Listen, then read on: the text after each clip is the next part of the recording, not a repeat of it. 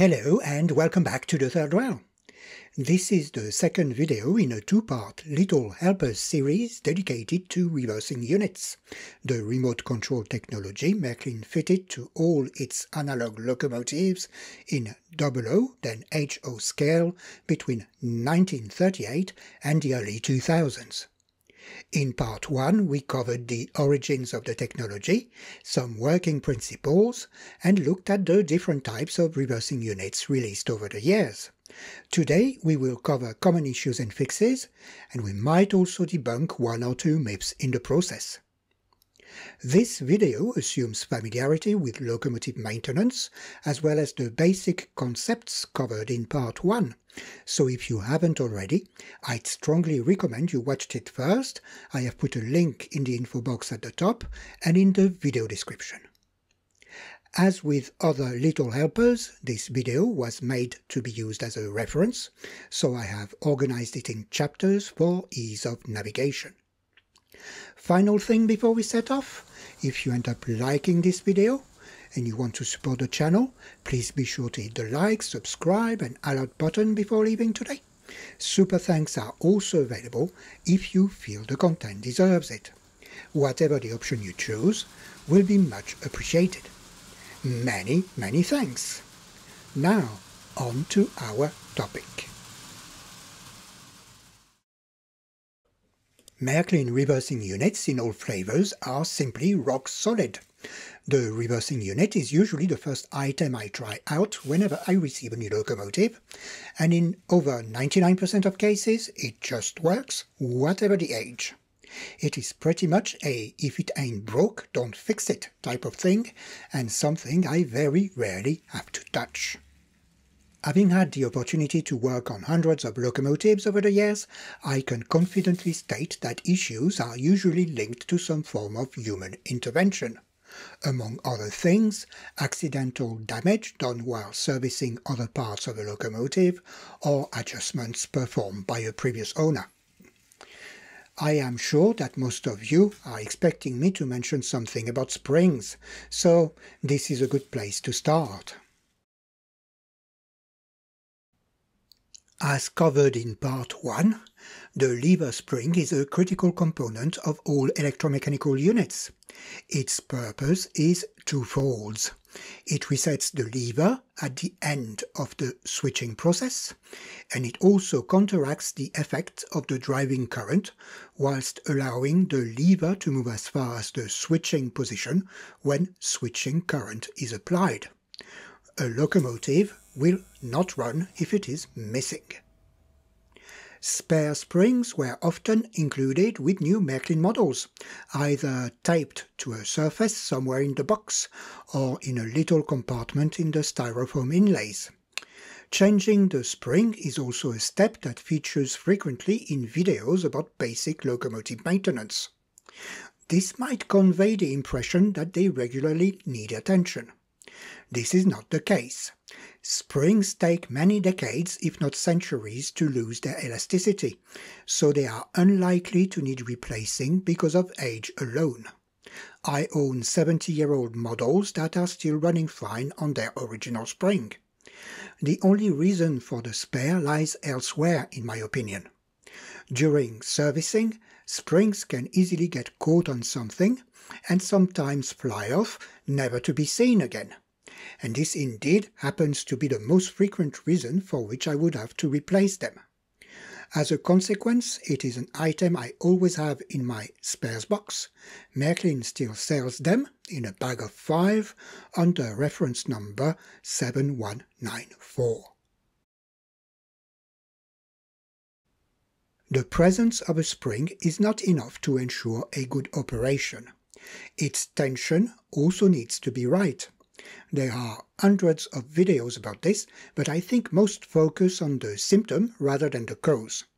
This is a little helpers video, so I will show the procedure here too, but I will try and put a bit more meat on the bone because a symptom doesn't always mean an adjustment is required. Let's start by looking at how things should behave. For any electromechanical unit produced from 1957 onwards, the correct spring tension should allow a locomotive to run at full throttle, and the locomotive should be able to reverse without jumping more than a centimeter or so. Out of the factory, all locomotives were adjusted to do just that.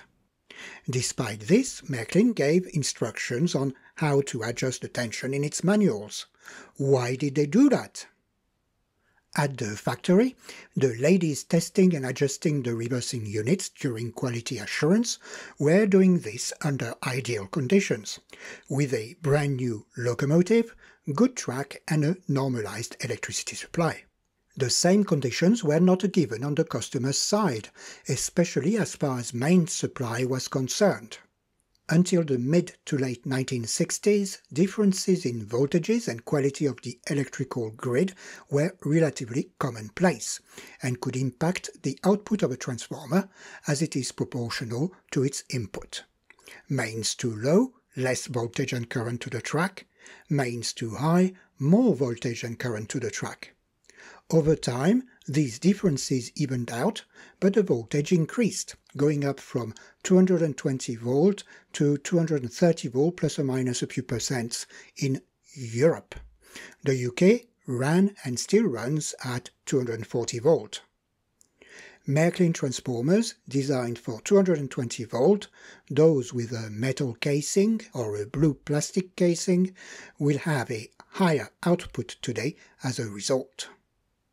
This and other aspects such as maintenance can impact the operation of the reversing unit, hence the occasional need for an adjustment.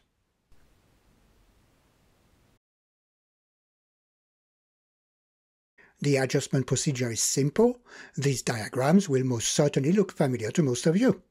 Using a flathead screwdriver, the spring arm on the lever needs to be bent sideways, closer to the switch if the tension needs increasing, or away from the switch if the tension needs reducing. When to do what depends on the symptom, but appearances can be deceiving, and this is what my gripe with most how-to videos on the topic is about. The typical video usually involves a hastily assembled straight section of track, a 60-year-old suicide transformer, and a locomotive. The track often looks like it hasn't seen any use for a few decades, it is dirty or oxidized, the locomotive hasn't been serviced, and the transformer is spitting out wrong voltages. The effect is guaranteed, and the procedure shown, whilst usually correct, is likely to have been completely unnecessary given the setup. Remember the factory conditions I mentioned earlier? It is important to try and get as close as possible to those before attempting any adjustment. It would be difficult to do anything about any quality issues on the main supply side, although a recent white transformer would help a lot in this respect, but everything else is well within our control. This means the track needs to offer good conductivity and be located within 2 meters of a power feed. It doesn't need to be spotless, but it shouldn't be covered in dried oil, oxidized or rusty either. The locomotive should ideally be freshly serviced with clean wheels and good ground contact. A good way to test this is to observe the driving behavior of the locomotive. If it randomly cuts off or seems to hesitate in places, then this aspect might need more attention. As with everything maintenance related, a visual inspection is usually a good place to start. So here's how a reversing unit should look if left stock. The spring should be intact, the arm should be at a 90 degree angle to the rest of the lever, and it should be on an even level, not bent up or bent down. If anything looks different, then someone has been tinkering. It is also important to check the unit can change over easily, especially if the plastic around the solder pads for the motor windings look melted in places. You can check that by pushing the lever manually. With the locomotive upright, the rocker switch should move to the opposite side every time the lever is pushed. If it doesn't, this needs fixing first. My preference is to immediately revert to a factory setup and proceed from there. Most of the time, this will already be enough. Now, let's look at common symptoms. I'll be using a freshly serviced loco, of course, to demonstrate the various faults.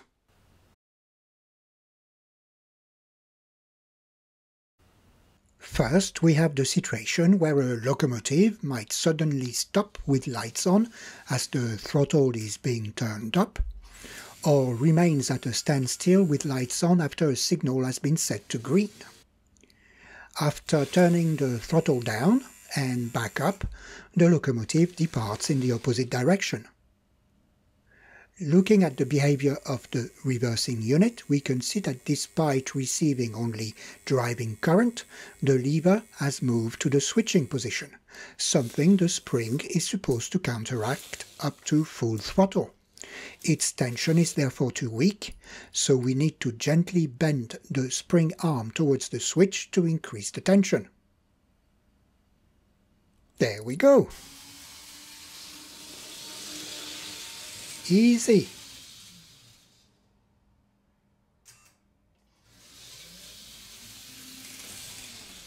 Then we have a situation when a locomotive might set off very fast instead of reversing. The typical how-to video would tell you that the spring is at fault here and that its tension is too high. In such cases, the lever will not travel far enough to be able to push the rocker switch and the switching current will start powering the motor. Given the higher voltage, the locomotive will set off at a higher speed than full throttle.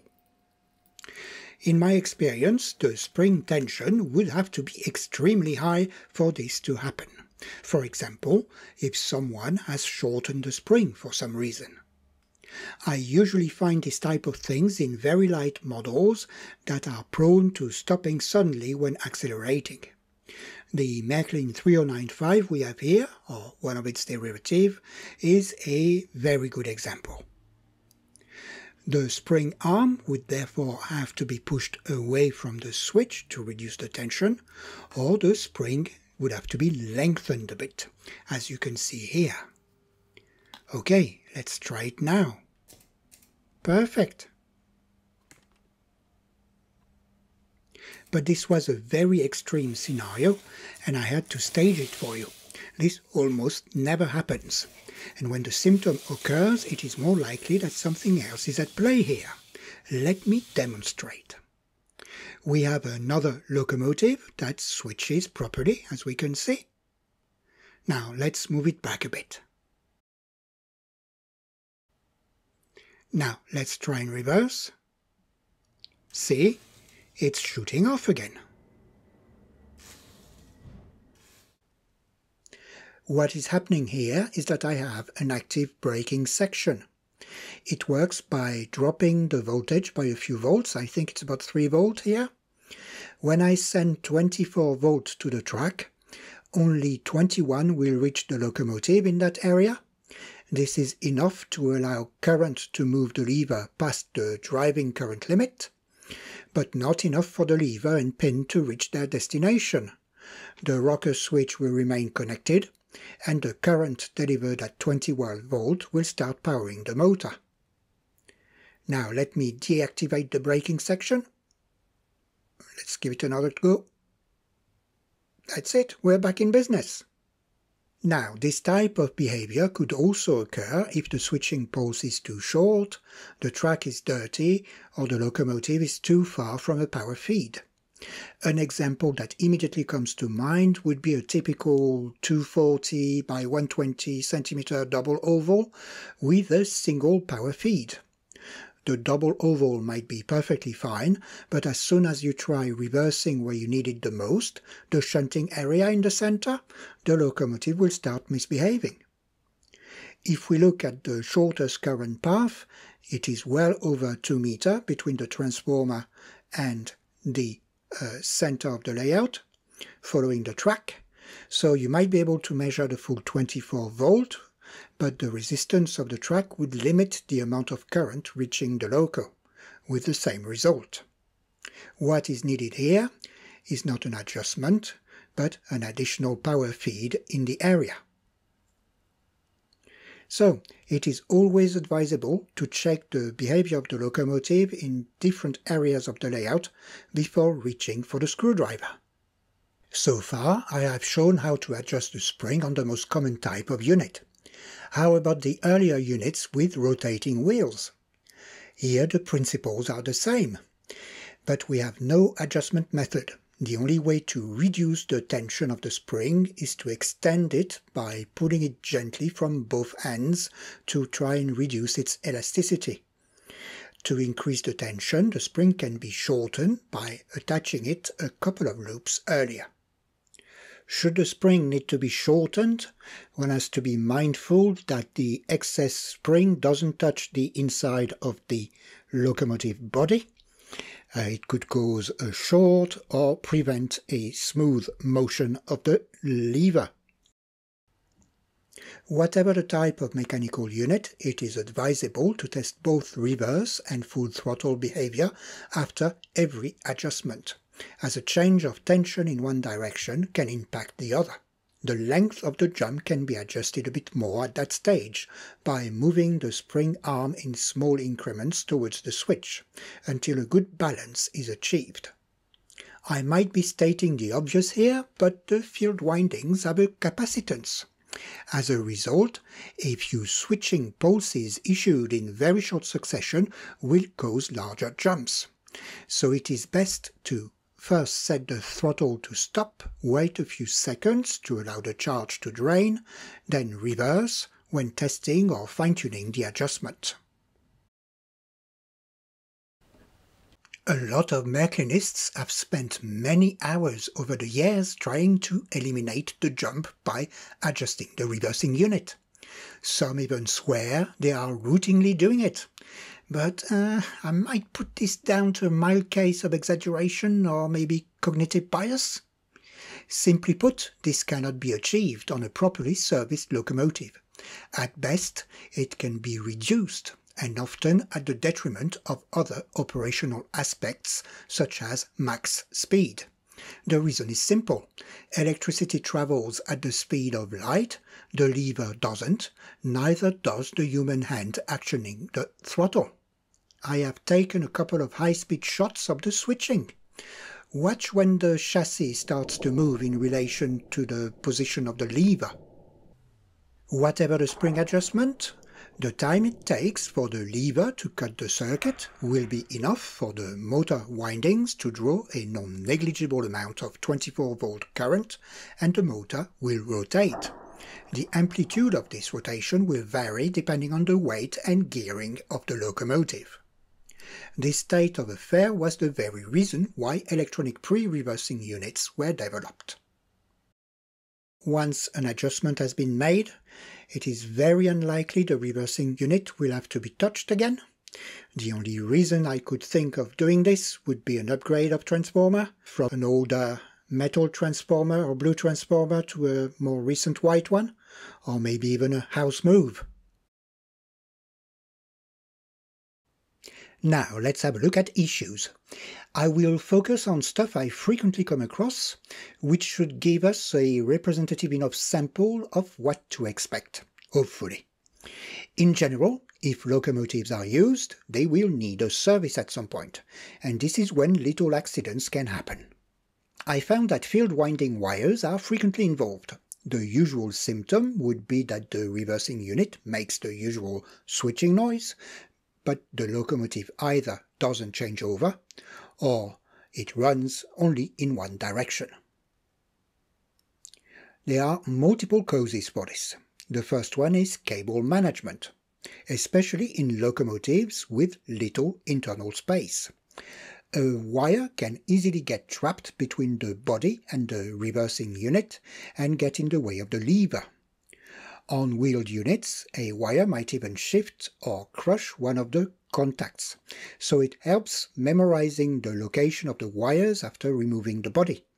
maybe by taking a few pictures from various angles in order to ensure the wires are put back in the right place once the service has been done. Another cause could be broken field winding wires. The usual place where this happens are the solder pads on the reversing units. It should be very obvious if this happens, as usually one of the wires will be dangling loose. During servicing, the motor often needs to be taken apart, which involves moving the windings. Very often the windings are terminated on the reversing unit. Winding wire has a solid core. Over time, metal fatigue can develop and the wires can break just short of the solder joints. Wire breaks can also occur on the winding side of the motor plate. There we should have two wires soldered to the pad and a break can also be hiding inside the little protective sleeve that's usually covering the wire between the cover plate and the windings. If there was one reason to invest in a multimeter, that would be it, as a quick conductivity check will quickly reveal any issue on that front. A wire break is not a major thing, but a time where nothing can be done without a soldering iron. And this is where things can go wrong, sometimes horribly. The contact pads on the reversing unit are held in place by little plastic supports that can melt very easily. When that happens, the pads might shift a bit and render the unit sticky at best or unusable at worst. So proceed with extreme caution here. On wheeled units, things are a bit easier in this respect as the materials used are more resilient.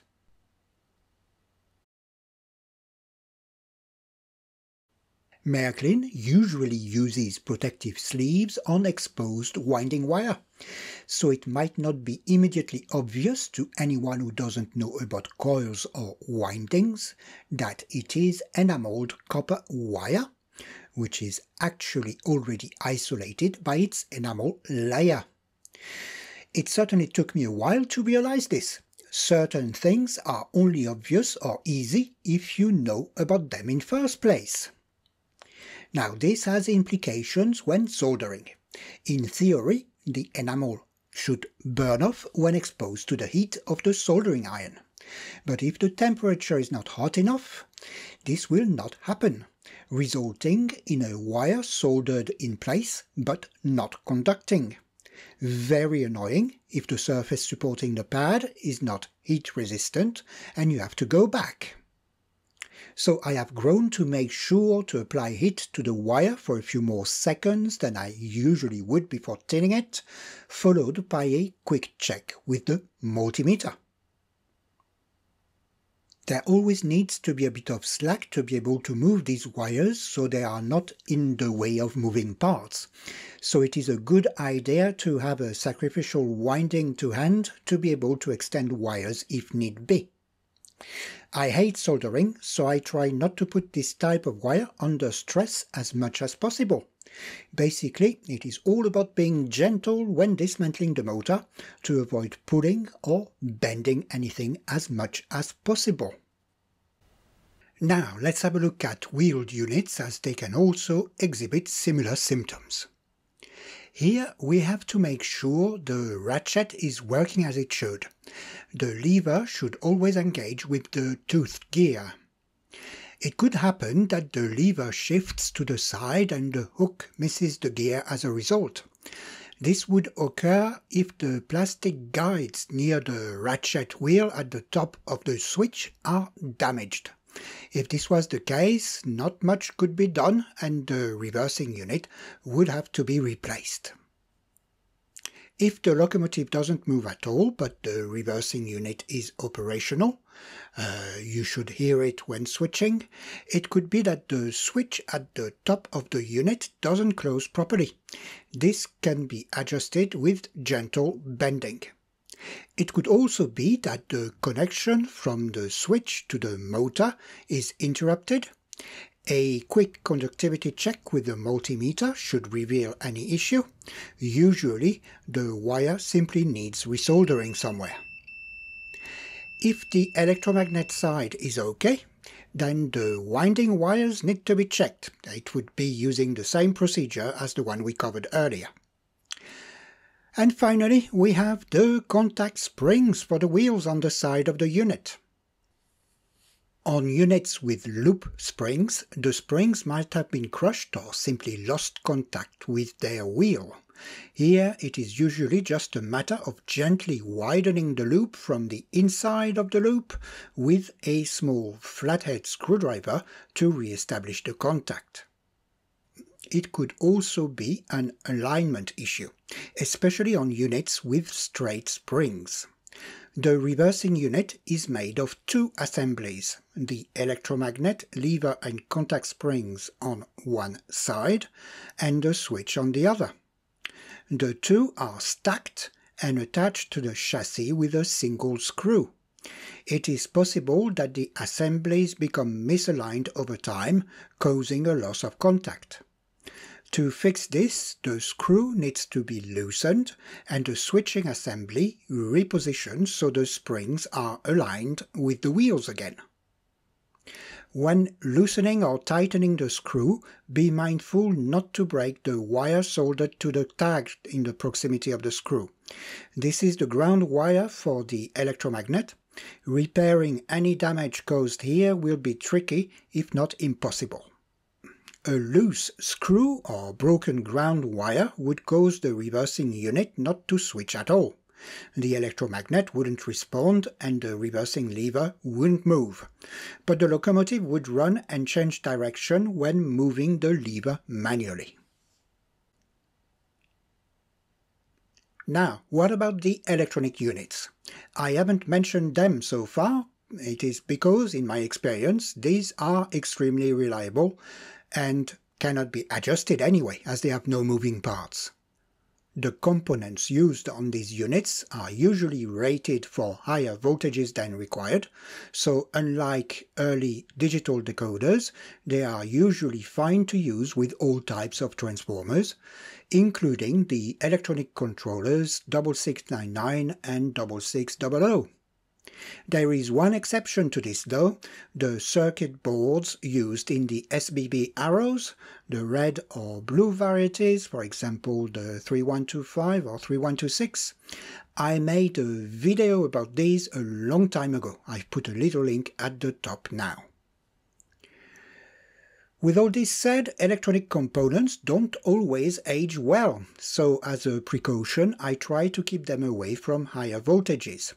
I use recent transformers and I avoid using them in shuttle mode with the electronic controller 6600. Okay, I think we've covered quite a lot of ground now.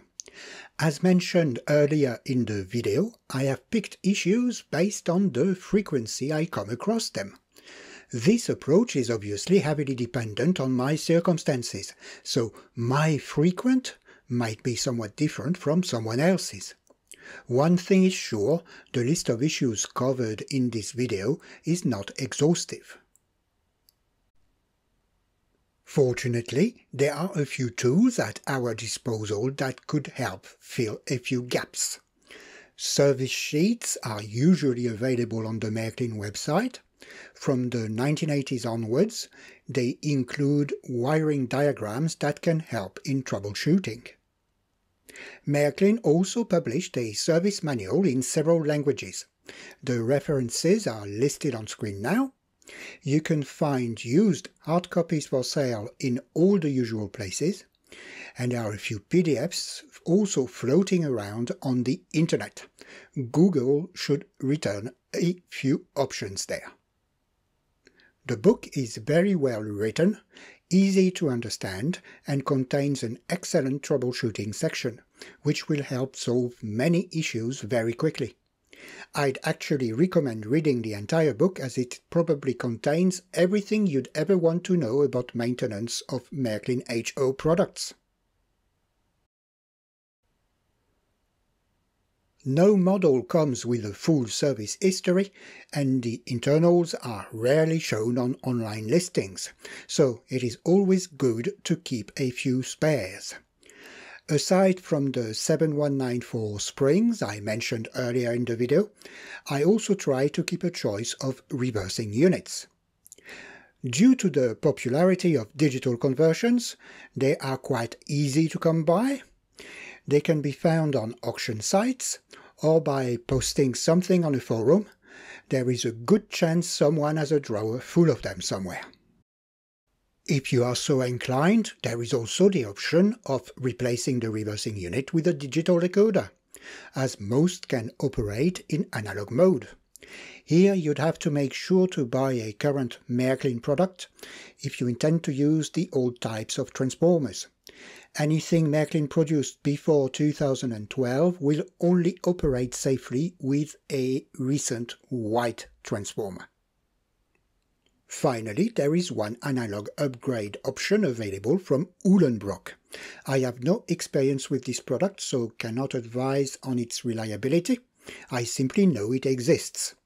It looks like a simple swap-in-place operation that does not require any modification to the motor or lighting and adds motor regulation, which is quite nice. Or it sounds quite nice at least. I might try one of these at some point. Okay, I think we are way past the information overload stage now. In part 1 I had promised to cover the configuration used in multiple units such as the 3071 TEE RAM or the uh, battery rail bus, the 3028 with the um, trailer 4028.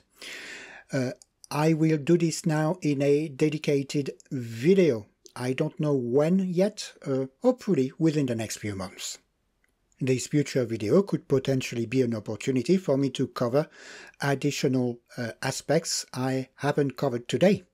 So uh, if anything particular comes to mind, please drop me a comment down below. Uh, I'll keep an eye on them and I'll try and include them if uh, I can. I'd like to thank you very much for spending so much of your time with me today. I hope you enjoyed the video hopefully enough for you to give it a like and maybe subscribe if you haven't already done so, or even send a super thanks my way if you feel the video was worth it. Thanks as ever for your support and bye for now.